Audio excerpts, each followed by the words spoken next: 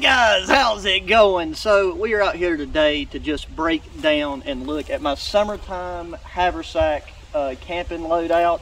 Um, I wanted to take and just do a dedicated gear breakdown video before we actually take it out on a overnighter. That way if people have a lot of questions stuff about, about the gear and stuff that will be used in that video, I can then just refer them to this video. All this gear will be down in the description box, so if you uh, want to check it out, that's where you need to go and do your clicking. Let's just jump right into it. Now, this is not just including the contents of the haversack itself. My water carrying vessel and cook system is my Valtcan titanium canteen set. Um, so that is on the outside. I do have things lashed to the straps of the haversack itself. Plus, we're also going to be counting the items that I always have on my person, in my pockets, and around my neck. Because our Shemagh here very multifunctional and it's going to be our uh, ground cloth today to lay your items on so there's uh, some contrast for you guys to be able to see the items once I get them moved and laid out.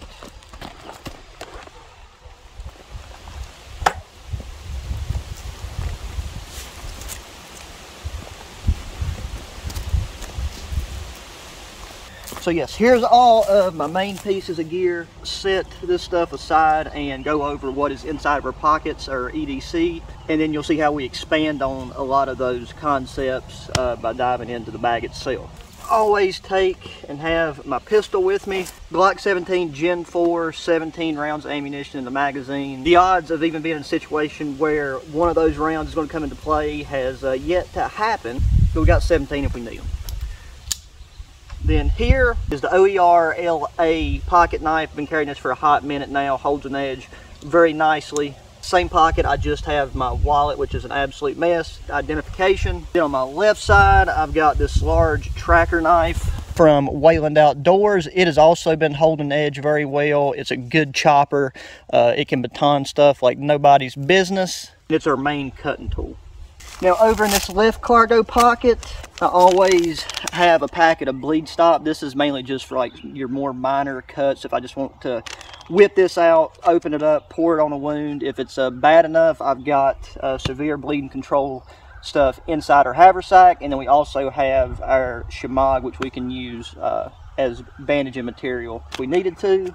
And then I tend to always have just a couple of these little waterproof fire plugs in my cargo pocket as well. Just really quick, easy, and simple to reach in to get a fire going. Then over in my right cargo pocket, I always like to carry a ferro rod with me. I prefer to have this on my person versus it being in the bag because with these pockets being closed, uh, the odds of this getting lost is next to zero. Now in my left pocket right here, got a Gerber multi-tool. And then I believe this is meant to be like a pocket knife pocket. And this is something brand new. I've not even had an opportunity to uh, start a fire with this yet. A uh, Blackbeard electric waterproof windproof lighter. So I know for a fact that it works. I've started, uh, I've lit some candles and stuff with it. I think that's pretty nifty. I've yet, I've never took and got one of these uh, arc lighters before, so that's something we'll play around with and have some fun. Is everything that I carry on my person, so that's going to be with me no matter what. Okay, so that alone covers uh, a lot of stuff just with what we have in our pockets. Now here is my Valtcan uh, titanium canteen set. I think I've been using this pretty much ever since I started, uh, you know, dedicating a lot of time, energy, and resources to this YouTube channel. But in case you haven't seen it, in the front pocket, I have some uh, tea bags that I forgot was in there. This is the hanging wire, which will allow you to use the canteen cup and pan that is in this kit as a hanging pot. So you have the ability to suspend it over a fire. You can also use that, rig it up with a toggle, open this up and suspend your canteen over your fire as well. Right here is the lid that fits both the canteen cups. Okay, here is your 750 milliliter titanium canteen cup. And then off the top of my head, I don't remember what the capacity of this is. I think it's 400 milliliters. But as for a single person cook system, these things uh, are great. Yet to be in a situation where me fixing my own singular meals wasn't able to be accomplished by using one of these two vessels. Alrighty, so now touching on the other items that are on the exterior of our haversack to my strap using these awesome new straps that I just got and I can't believe I hadn't heard about them before. But these are called uh, the Infinity Tool Strap uh, by a company of the name MODL. Super strong, super stretchy. Uh, you can connect them together. This is like my first time uh, using them uh, in a kit loadout and a kit setup, but I'm, I've got a black pair of these as well, um, and they're just going to come in really nice to lash stuff to your bag where they're made of this rubberized material where this is just a, a straight flat strap. It takes and holds on, grips it very well. Uh, and then this right here is my high-speed Daddy Woobie. More than enough for uh, summertime use, even on those uh, chilly summer nights. Also on my strap here on the outside, this is just a luxury item, not necessary. This is a Blackfire Bluetooth speaker. Use this on the kayaking trip for three days straight, and when we left, it was still on 50% battery life. It's heavily water resistant, um, great sound. Um, and it's just, there's so many different things you can do with this to uh, suspend it from trees or uh, depending on what other gear you have with you, you clip it on your belt. Uh, if there's anything around it that's magnetic, it's got a very powerful magnet on the back. So that is uh, just our entertainment option. To the outside with the carabiner, I got a pair of my mechanics gloves. To the outside, just quick, easy access. This time of year, there's so many you know, when you're bushwhacking, going through brush, brambles, you got briars, you got thorns, uh, it's really good to protect your hands when you can. Just reach up, you know, break something off, pull something out of the way, um, and, you know, you ain't got to worry as much about injuring yourself. And then the final two items that are on the outside of my haversack clipped to this little exterior loop is here. I have a Flextail tiny repel uh, mosquito and insect repellent. Um, not got a chance to test this out in the field yet but the build quality is phenomenal and you also have the benefit of having a uh, extra light okay that's the wrong one there we go so this can serve as a lantern around camp right now it's the middle of the day so can't really tell the brightness. It's supposed to have a good long uh, performance burn time. When I say burn time, that's just like with the little cartridges that go in this uh, to keep the insects away. Um, it's supposed to have a long battery life. Up top here, this is something I just got in the mail as well. So this is uh, from Rovyvon. I've used uh, some of their keychain lights in my personal EDC carries and some of my kit videos. Um, but this thing glows in the dark also kind of impossible to show you guys right now in the light. But I have this on here because one, it's a backup flashlight in the event that there, uh, you know, was an emergency and my main headlamp in my bag was to give out. But the main thing is it's got a light here on the outside in white and it's also got a uh, red light. If you take and hold that down, there we go. There's the red light. You double tap it. And so I have this. So if it's late in the evening or at night, I can take and hang this up at my camp if I need to go like further away to use the bathroom to do any cooking. Or if I take and hang my bag up, I can turn this on. And uh, then if for whatever reason you get turned around uh, or it gets a lot darker, a lot quicker than you expected, um, then you can have your essential gear marked and make it a lot easier uh, to find in the dark. Thought that was just a really cool thing. And plus it also has like flashing options and everything else for signal signaling if you so needed it for that reason. Time to get into the real meat and taters of this kit and open up our main bag. So at the very top here, I have my AUS Camo Tech poncho. Could be uh, emergency shelter, but I like having this at the top because here in the mountains this time of year, thunderstorms, rainstorms, just stray showers can uh, pop up just in the blink of an eye, very short notice. So having that at the top where you can just really quickly take it out, throw it over yourself, and uh, get out of the weather is crucial. These are not at the top for any reason, but just an extra pair of socks because if you're going to be camping overnight, like with these boots right here, these Belleville boots have been amazing. Um, but I purposely got these for summertime use because these are not waterproof. Like whenever it's warmer weather, you're better off if your feet are going to get wet. Uh, just have a shoe that's fast drying and you know you can hang them up uh, if you have a fire you have the option of a fire you can uh, set them up let them dry out that way um, and then just sleep in, sleep in a dry pair of socks and uh, your life will be a lot easier and a lot happier for that.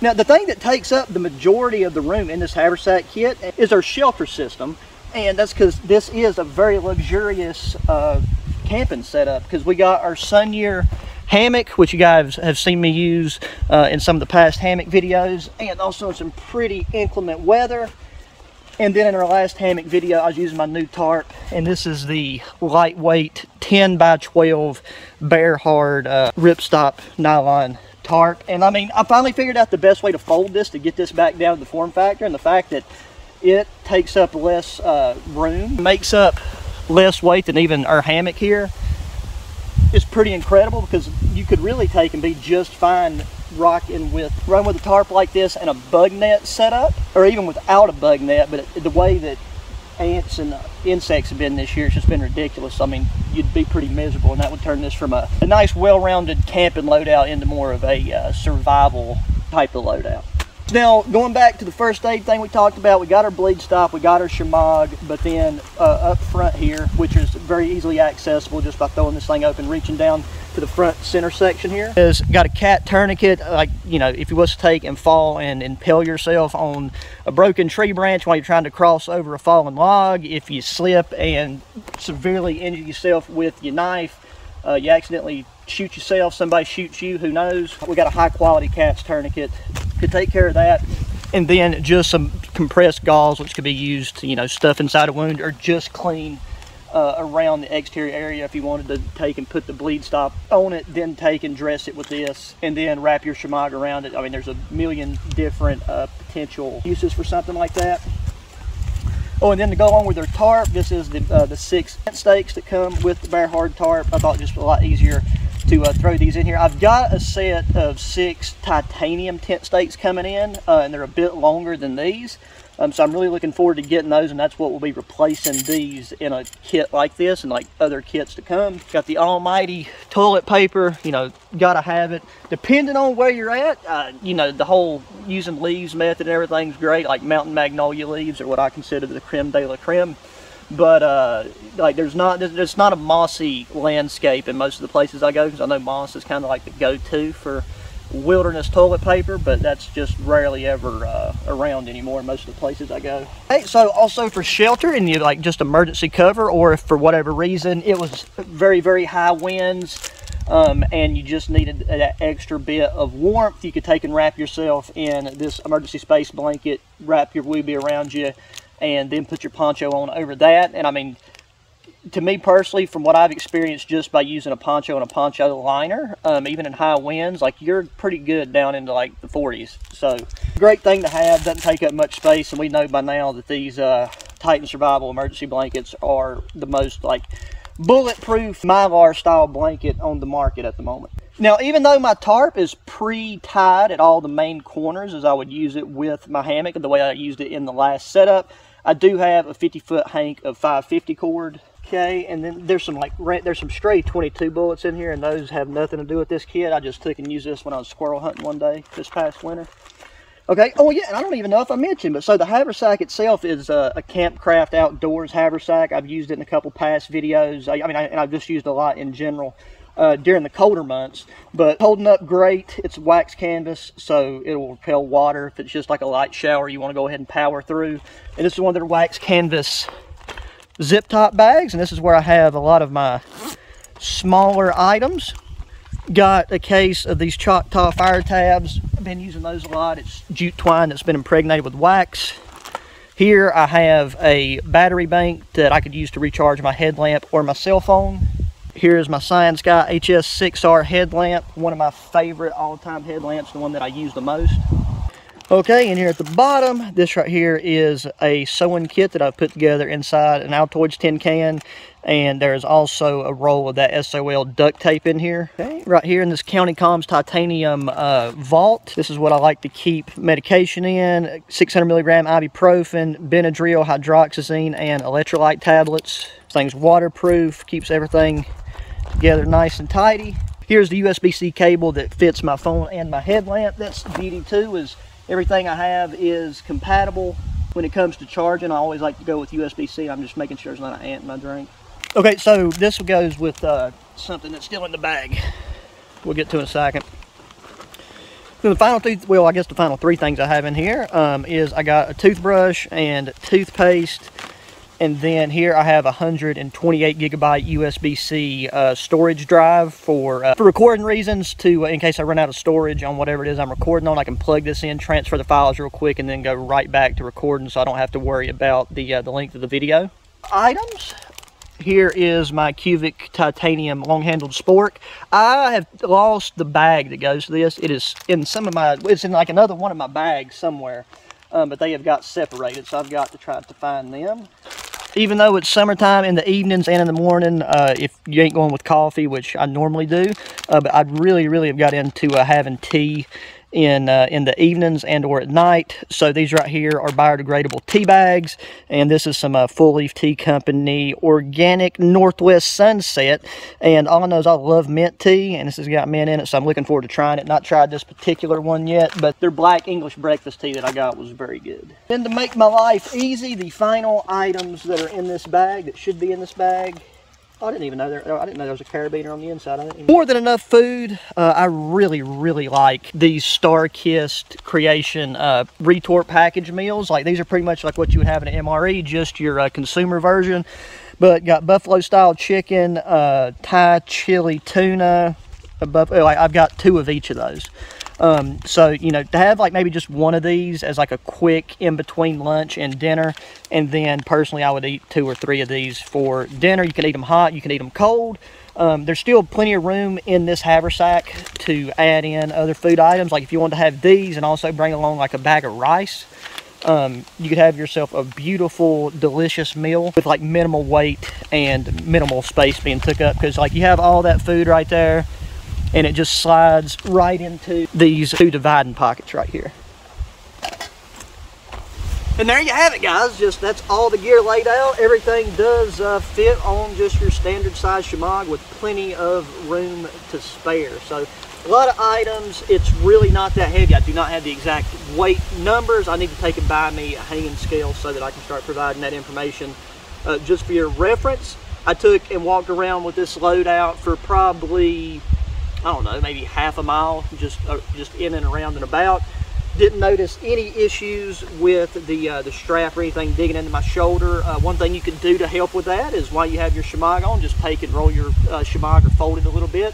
Put it underneath. Uh, me personally, I like to wear my water container, which is also full, draping across the same shoulder strap so that it's sitting here in front. Really easy just to open, lift, drink, set her back down. Um, and that way it's not beating against my gun on the, my right side. But if you just want to kind of just like run an X carry system over your shoulders and have the water uh, then being supported by your left shoulder, you can go that route. That's going to do it for this one. Really look forward to taking this out and doing the overnight camping video with this. So do stay tuned for that. I'm going to try to catch some some rainy weather just to make it uh, a little bit cooler out and to also uh, just enjoy the sound of uh, rain on this large tarp because I can't I, I, really want to take and keep pushing this large tarp to see how much it can handle.